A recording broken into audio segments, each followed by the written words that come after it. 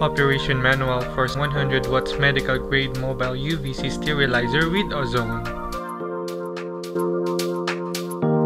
How to operate using remote.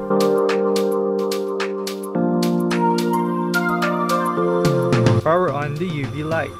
Choose the designated timer. Press the power button on the remote.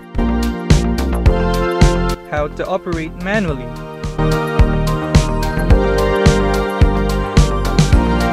Choose the designated timer. And then, power on the UV light. Confirm the timer using remote.